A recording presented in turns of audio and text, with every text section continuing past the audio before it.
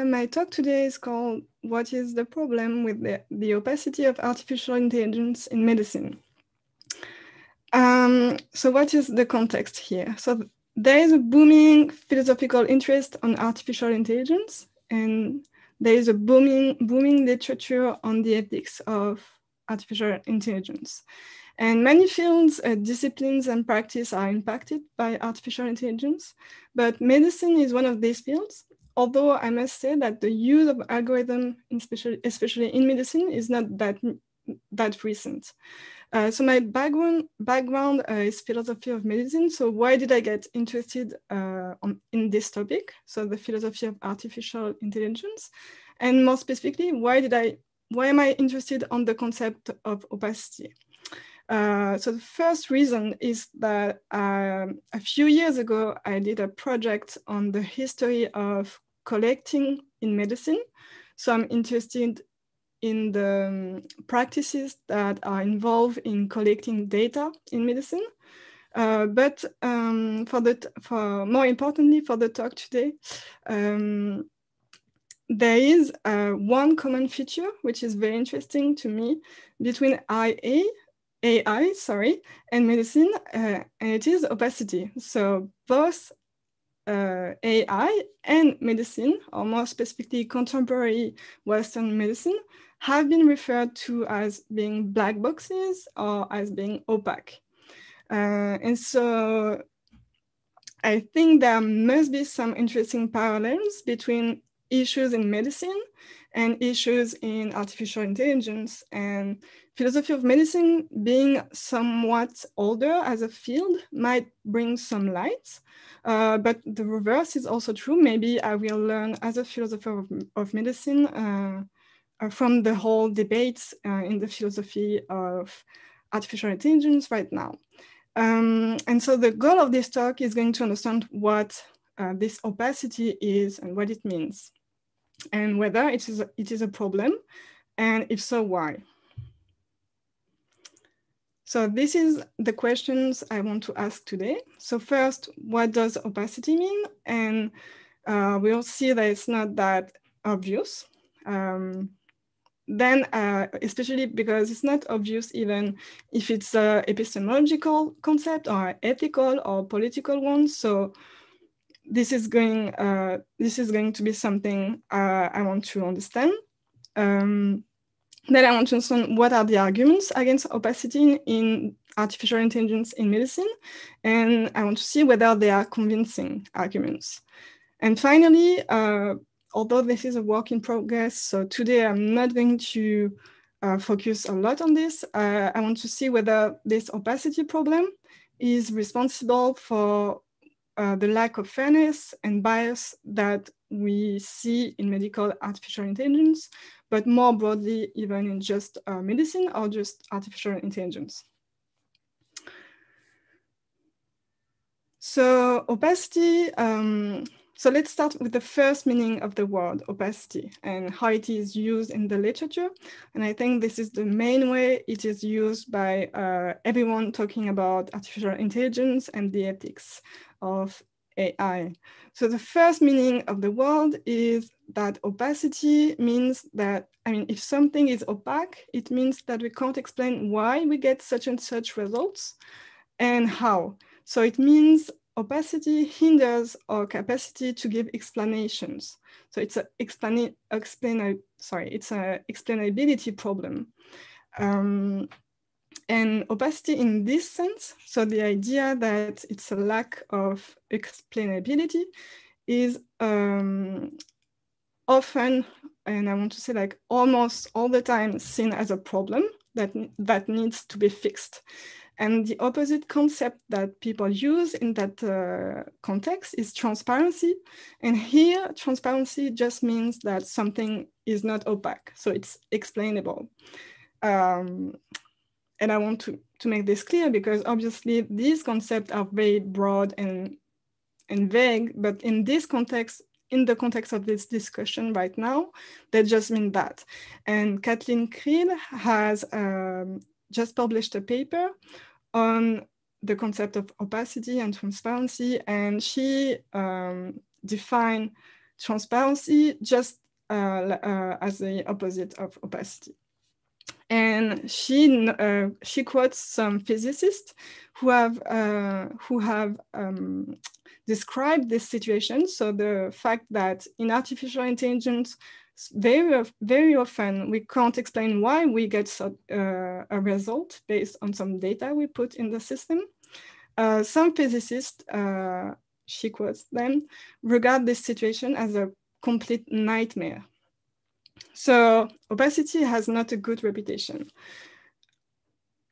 Um, and, uh, and the opposite uh, concept, transparency, uh, has become a virtue for the field of computer science. So you have huge, um, you have a huge literature on how to make uh, AI more transparent. And for instance, in a review of 84 ethical guidelines on artificial intelligence, uh, Jobin, Jobin, I'm, I'm, not sure how to pronounce, um, Ienca and Vayena, uh, in a very, very recent review, review of the literature, have um, noted that transparency is the most prevalent ethical principle in the current literature. Um, and it was featured in 73 of the sources that they have looked at. So basically, the debate is not even open for discussion. Opacity is bad, transparency is good, and we need to explain artificial intelligence right now. Uh, at least, uh, and I want to see whether this is well argued or not. And I just want to mention that in this uh, review of the ethic ethical guidelines, um, there is several of them that are French, and for instance, uh, the guideline that you see on the, on the end of the screen uh, mentions that the French president uh, has promised that uh, transparency is going to be at the center of artificial intelligence research. And although I want to note, and I will go back to this at the very end of this talk, that uh, if you look at any of these guidelines, uh, it's not clear that any ethical or philosopher was were involved in the writing of these guidelines. So transparency is a value in the field, but not it's not necessarily something that philosophers have uh, uh contributed to uh, make. Uh, I mean, yeah although, uh, as we will see, uh, Kathleen Creel especially uh, argued that it is very important. So the first definition is that opacity is just a lack of expla explain explainability in, in a, when we use a system. And I leave this slide blank because I want to make clear that there are other meanings of opacity. And I will go back to that at the end of the talk. Uh, so the argument against uh, what we will call comp computational opacity, so the fact that at the comp computational level, we don't understand everything. Uh, so there's two arguments uh, mentioned by, well, two claims mentioned uh, by Creel. Um, first, it forbids scientists to produce robust explanations and to detect artifacts. So obviously, um, she argues that this is, this is a huge problem because, um, well, expl explain, uh, explaining is like one of the main goal, goal of science. And she also argues, um, among other, uh, that this, is, this situation, the fact that there is a lack of explanatory power in uh, computer science uh, is going to foster mistrust from the public about what uh, scientific, scientific expertise even is. And she writes that scientists, modelers, and the public all require transparency. And by, by this, I mean, she means just explainability, because it facilitates scientific explanation and artifact, artifact detection. As philosophers, we should not recommend abandoning the search for transparency. And I want to quote uh, some other um, passages from her last paper.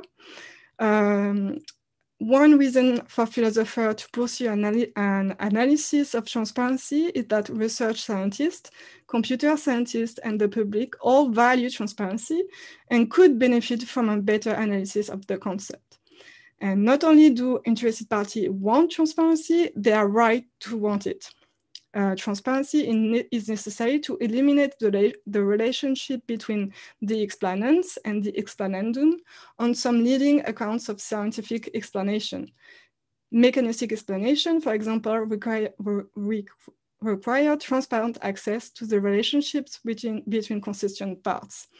So again, she argues that um, we need transparency, we need explainability because, well, we need to be able to explain in science.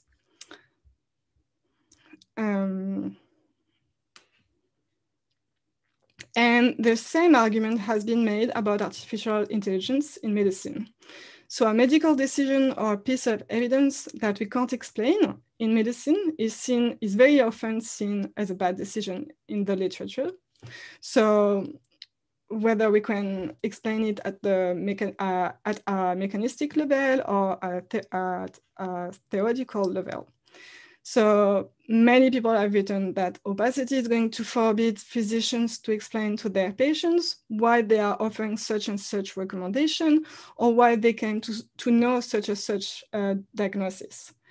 And the second idea is that because of this lack of explanation, people are, are going to start distrusting uh, medical physician even more uh, than they are maybe already. So you see it's very similar. So that there, is, there are two claims, I believe. Uh, the first claim is that science goal is to explain, or at least that the main, one of the main goal of science is to explain. A second idea is that trust in science comes from this uh, explanatory power. Uh, or maybe another claim, neighboring claim would be that the lack of this explanatory power is going to lead to mistrust in science. And all of this, these two claims um, are the basis for arguing that opacity in science should be avoided and that transparency, so just expl explainability should be actively sought for in science. And so here I just, uh, I just, I was reading another paper yesterday, but I, I, came, I came across this quote and I think um, you will understand why. Uh, it's Hans Mayr, a, a biologist uh, who was writing that he had some five or six volumes on my bookshelf, which includes the misleading words, philosophy of science in, in, their title. In actual fact, each of these volumes is a philosophy of physics. So I'm not saying that Kathleen Creel is doing that, but um, if we change the previous slide and we change uh, science for medicine, um, we are going to run into some problems. Um, so the first thing would be that medicine's goal is or one of the main goals is to explain in that the public or people or everyone trust medicine based on this explanatory power or, the, maybe the opposite or the neighboring claim which would which would be that the lack of explanatory power would lead to mistrust in medicine. So and both, both of, the, of these claims would lead to the conclusion that opacity in medicine should be avoided and transparency, explainability should be actively sought for in medicine. And you may be thinking, yes, of course, but I want to show you that no, no, no, actually, I'm very skeptical of these two claims, and especially the first one, but because, uh, and I will talk just of, uh, I will talk mainly of this claim uh, in this talk, but I think the second one, one also doesn't hold that, that well. So why is, I mean, is explanation important at all for medicine? This is actually a, a valid question in philosophy of medicine. So, and the first question we would have to ask is what is a medical uh, explanation? And this is actually very complicated. And I don't believe there is a consensus view of explanation in medicine. So you have many different philosophical accounts of what are explanations. So I'm not even going to uh, go into that, but you have the deductive nomological approach, the deductive statistical, inductive statistical, statistic, statistical relevance model. Uh, if you are interested into that, I would, I would recommend uh, Lemoine's paper uh, from 2018 on the topic. So he, he reviews all the different um, approach of explanation and try to see whether it, they work for medicine or not. Um, but overall, nowadays, um, the, the main approach to medical explanation would be mechanistic.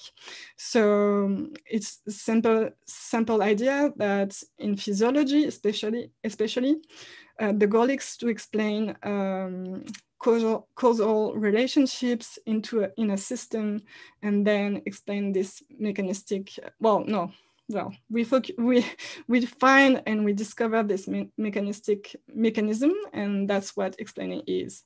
And just for um, for people watching not uh, maybe not being familiar with, with what mechanisms are, a mechanism is just an entity which interaction account for the gen general outcomes, the behavior of the system.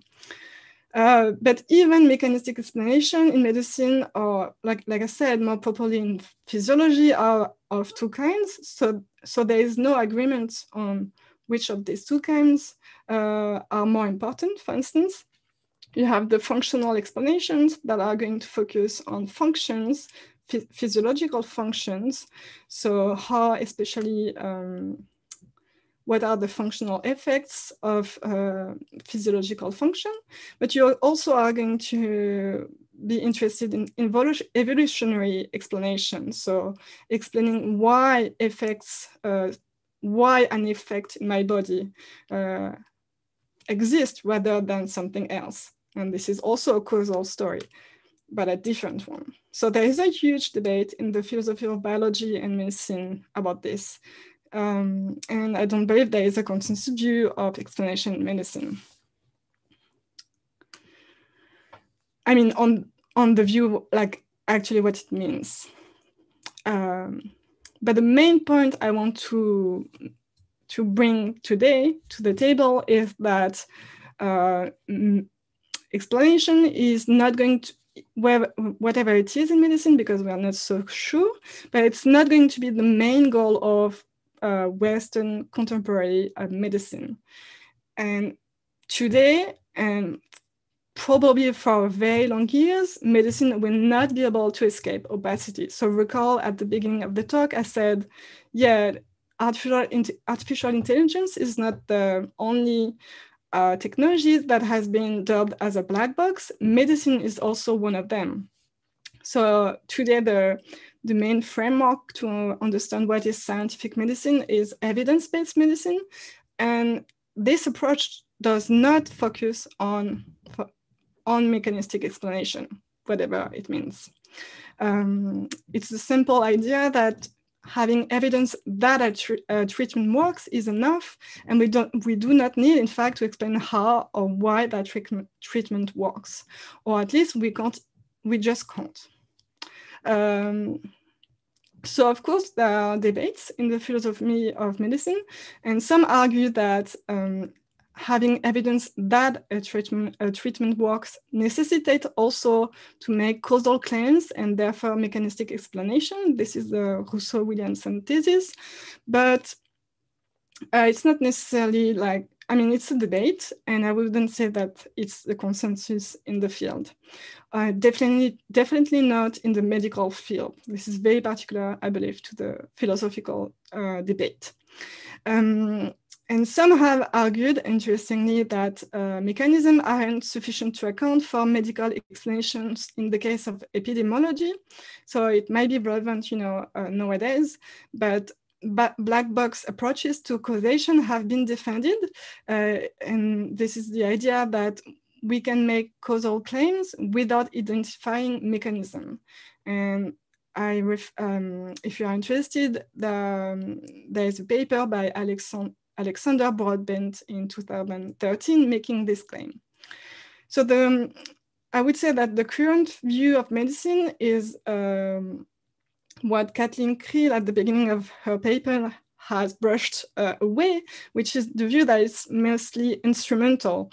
Uh, we are here to see um, what is effective or not, and the goal is not going to be to understand, but to intervene effectively. So it's more akin to a technology or applied science, and so the the worries you know, the idea that it's a nightmare that we don't understand that these physicists had, like in the beginning of the talk, it's not going to be the same uh, at all in the field of medicine. Um, and I'm quoting uh, um, Alex uh, John London, who has made a very similar, I mean, basically the same um, argument in a paper in 2019. He writes that although medicine is one of the oldest productive sciences, its knowledge of underlying causal system is in its infancy. The pathophysiology of disease is often uncertain, and the mechanism through which interventions work is, is either not known or not well understood. As a result, decisions that are atheoretic, also associationist and opaque are commonplace in medicine. And yeah, and I just wanted to quote this. So the, the main goal of medicine is not going to be uh, explanation, is the goal is going to be pragmatic and therapeutic.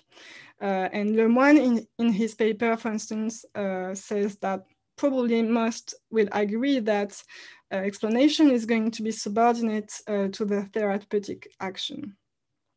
There is at least another understanding of explanation that could be interesting um, regarding medicine, and it's the coherentist account of explanation, uh, which has been argued uh, both by Lemoine and Thagard uh, about medical knowledge. So this is the idea that explanation in medicine is going to give a unified and coherent account of what we know about medicine.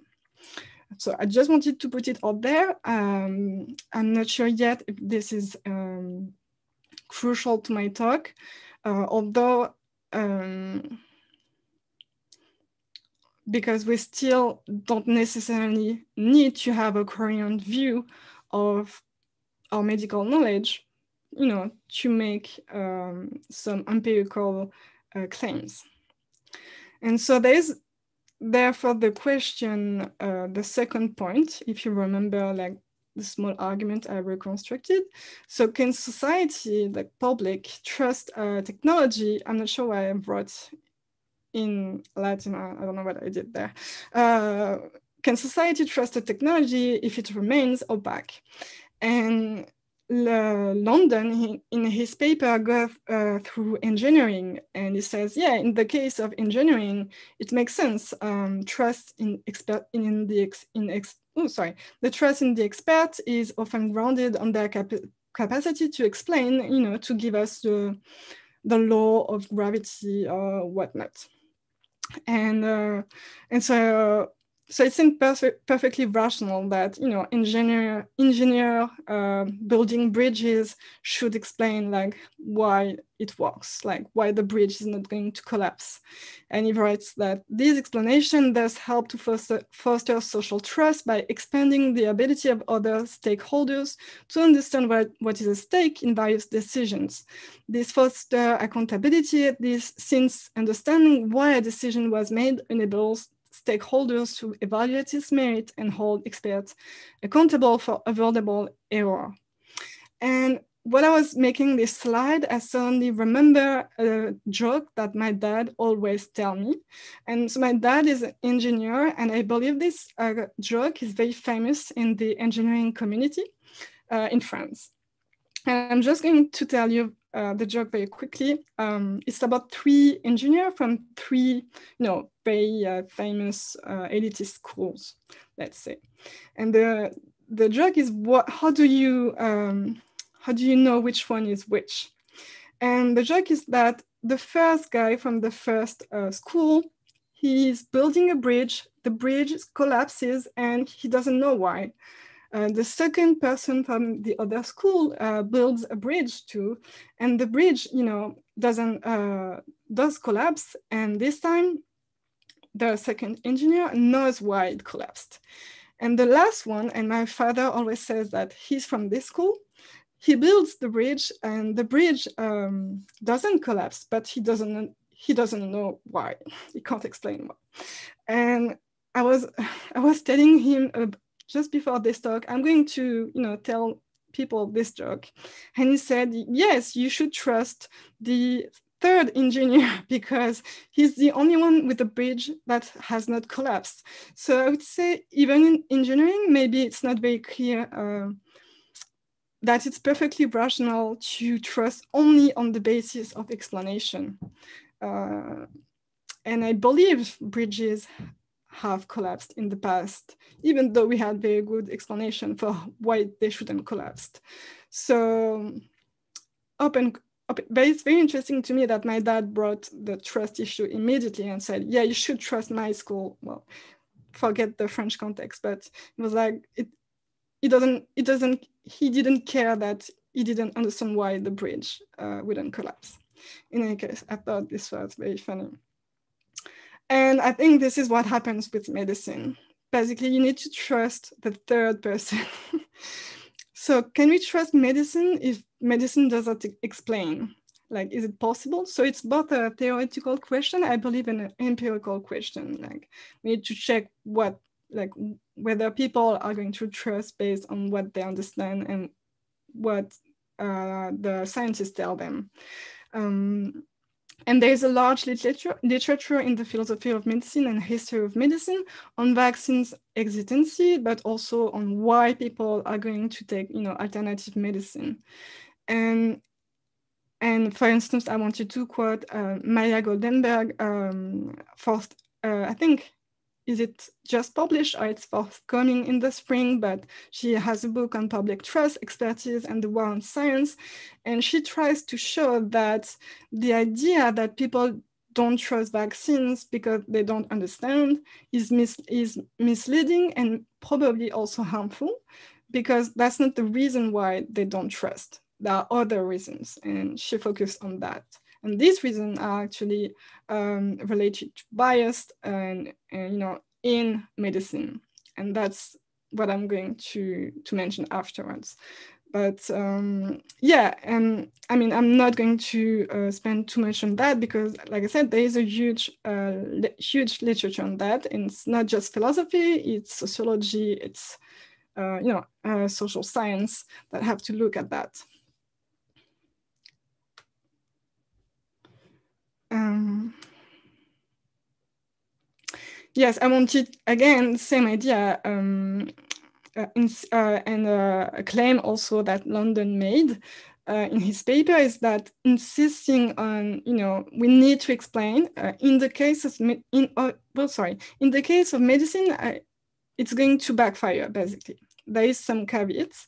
So there is a huge history. I mean, if you look at the history of medicine, you're going to be I mean, uh, you're going to have a huge list of treatments that we had perfectly rational explanation for, um, but who didn't work and were harmful in the end. And you also have a long history of theories in medicine that have that have led research completely astray.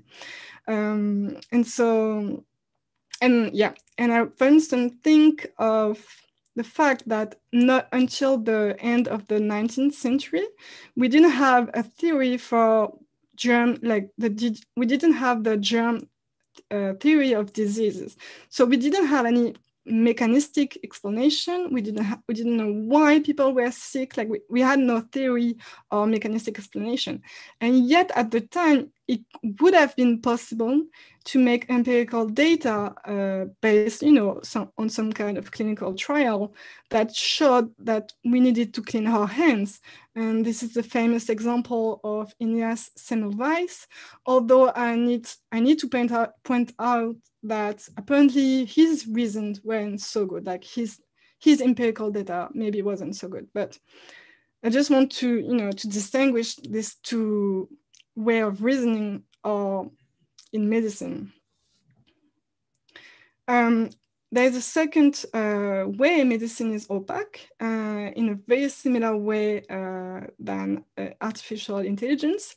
Uh, it's just the fact that even today, even you know, with evidence-based medicine and such and such, uh, decision in the medical context are you know made by physicians whose brain remain completely opaque.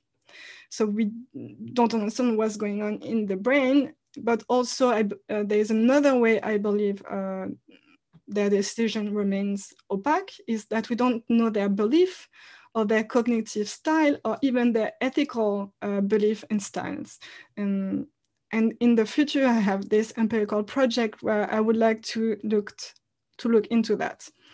Um, and in any case, London argues that this blanket requirement that machine learning system in medicine should be explainable or interpretable is uh, unfounded, but also potentially harmful.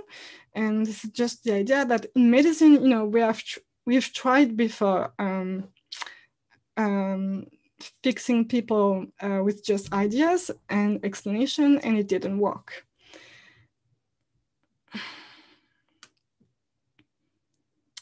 So there's an uh, an interesting case that London mentioned his, uh, at the end of his paper, and it's a very uh, famous case in the artificial intelligence in medicine literature. Uh, it was um, a report by uh, Rick uh, Caruana and colleagues, sorry, um, and the worries was that this opacity in the, um, you know, in the computer system that we're going to use is uh, going to somehow leads to artifact, for example, or bias or something completely weird. So, um, so they had this neural net and it was accurately diagnosing the probability of death from, from pneumonia, right? But the problem is that also, also they said uh, the problem was that they ranked asthmatic uh, patients as having a lower probab probability than the general population of dying from pneumonia, which is counterintuitive because they they're actually a, a, like a very high risk because they are asthmatic, right? But the the thing is, it is seen as counterintuitive because asthma asthmatic patients are often directly admitted to intensive care units when they have pneumonia, and that's the only reason why they have a lower, lower risk, because they are, they are able to access uh, more aggressive care, basically. And it is counterintuitive only if we assume that the system was predicting the probability of death independently of medical practice when in fact it was predicting it based on current medical practice because the data it was fed was only data on the medical practice. Uh, so, so I'm not sure yet what I'm making of this example because here the problem was not necessarily opacity, but more like interpretability, like in the sense that here the system wasn't opaque. We knew that the system was uh, had the data from the medical practice. And in the end, it, it wasn't so hard to understand why the, the, um, the result was counterintuitive. So it wasn't that, not, it wasn't uninterpretable, it was not unexplainable. So maybe it was just a bad example, a bad, bad case. Um, and yeah, let me think. Um, so what it shows uh, though is it's that the issues we have with this kind of system is very similar in the end uh, with the issues we have with the results of clinical studies in the sense that we're we need to be very careful of what we can conclude from a specific study on a specific uh, population with, with a specific data set. And we can't, you know, infer causality where there is none or you know, where we want to move to a larger population or another situation. But I believe these issues are already there. They're not specific to the use of this system in medicine. uh, then the last point I want to make, um, so um, basically I said that I said I argued today that um, opacity as the lack of explainability is not that of a big deal uh, in medicine because you know medicine is opaque. So we, we can't you know and we uh, we have good reason to think that uh, it's good to that medicine is opaque like this. Um, but i want to make clear that i think that um, there are other meanings attached to opacity in medicine especially that are very important that have a huge impact on medicine and society and medical knowledge. And those meanings could also be very interesting for people in that want to, you know, defend uh, transparency in artificial intelligence in medicine or elsewhere. And these issues uh, in medicine are publication bias, missing data, and the relationship between this issue and the industry funding and regulation. So the, basically there is opacity everywhere, like down the line where um, medical knowledge is produced. For example, uh, at the moment where we produce data, where we collect. Um, this is where maybe the opacity is going to be more problematical because we're not going to understand uh, what is the population involved, for instance, but we might have also opacity uh, on who is going to publish, uh, you know, uh, what are the linked with the industry, etc., etc. And here there's a huge uh, literature in the philosophy of medicine on pharmaceutical companies, but also on the idea that, uh, uh, well, on the idea of ignorance or just the fact that we don't know, which might be more important in medicine uh, than opacity, the fact that we can't explain. Uh, but anyway, the way science is organized, um, I should should have written medicine, but the way medicine is organized, organized in such a way that some important knowledge goes missing uh, is a problem that could fall under the opacity problem, I believe.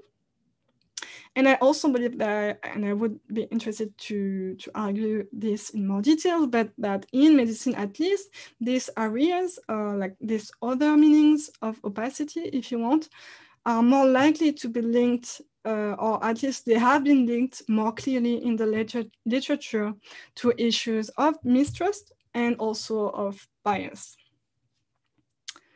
So yeah, and the one worry, one last worry that I have is that this, like I said, this talk uh, around transparency is ubiquitous and everybody is looking for trying to explain uh, their artificial intelligence uh, systems. Um, but I worry that maybe it might cast a small screen on the other ways uh, I mentioned, medicine and also artificial intelligence uh, lack transparency, uh, notably at the level of how data, data is produced. And so, you know, if you see, you know, um, a box and and you you have this company that like if their um, project is explainable, then they would, you know, they would mark it down as, as transparent. Um, and I think it'll be a problem if we reduce the meaning of the word to just explainability. Uh, although I'm not claiming that, for instance, uh, Kathleen Creel in the beginning of the in the paper I mentioned is doing that. She's clearly distinguishing explainability and the lack of explainability uh, to these other um, concepts of opacity. But what I want to argue is that these concepts are the one we want to look at and not, you know, explanation. And so this slide is just a, a list uh, that I could come uh, of uh, opacity concept uh, be beyond explainability and transparency that I could think of, but opacity as the concealment of information on how the data was acquired, but also in the scientific research process and publication process, um, opacity on whether an, uh, an, uh, a computer system is actually be, being used, is it you know, is it transparent or not? And then there's, of course, Patrick will maybe ask question about that, but um, some issues on the legal uh, aspect of the responsibility, and this could also be defined as opaque because opaque is such a general term. And I also wanted to conclude on opacity on who's doing the ethical research. And like I said, like I mentioned French um, report on the ethics of artificial intelligence that were not done by philosophers or scientists or it's not clear. So, and I also know that, uh, I mean, it's a problem today. Uh, universities are not the only one producing um, and um, producing uh, a literature on the ethics of artificial intelligence, and industry, the industry is also doing that. And so yeah, so it's also a question. So uh, I'm going to wrap up. I'm sorry I forgot to add a bibliography, but if you need a reference, just uh, send me an email. But what is the problem uh, with the opacity of artificial in medicine? Well, if by opacity we mean the lack of explainability, it's not going to be clear that it's such a huge problem, mainly because, well, medicine's goal, main goal, is not going to explain at all. Uh, but um, more work needs to be done on the other way. Um, medical artificial intelligence can be opaque. Um, and this is all these meanings, uh, different concept I mentioned. And also uh, more work should be done on specific cases, like understanding whether on one case, uh, whether like what kind of opacity played there, um, played a role there. And that's it for today. Thank you for listening.